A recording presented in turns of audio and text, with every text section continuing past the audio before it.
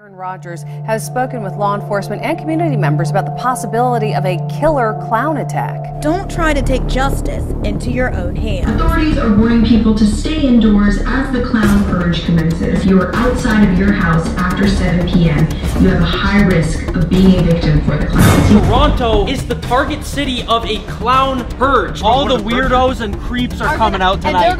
And they're going to take advantage of They this are night. loving this. We've all been looking forward to this clown purge. It's great for the city. We believe he could let that inner cloud come out and act crazy. In about four hours, all hell is gonna break loose, and I'm not planning on being clown meat tonight. Let's go, guys. Let's get let's go, let's go. They're clowns. They're regrouping, man. They're getting all together. You guys can't be out here. You gotta go. Put one of these in your car, in your house. That way people will know you're part of the cause. You need all the firepower you can get for these things. What the heck is this? You need everything Okay, that you okay, can possibly man. have to Let's stop go, them. guys. You understand? The purge is about to start. Go! Get back! We gotta board up the oh, house. No clown is breaking into the Prime Capital House. All we gotta do is make it till 7 a.m. This is your emergency broadcast system announcing the commencement of the first clown purge, sanctioned by the clowns. Go inside. It's not safe. Kyle? What? What? It looks to be a clown. Kyle.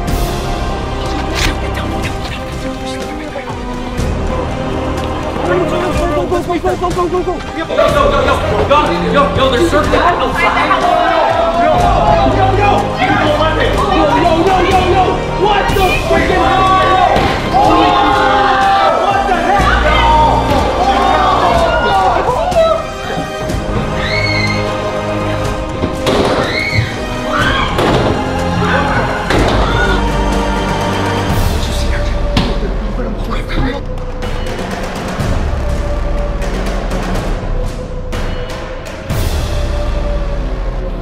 reverse.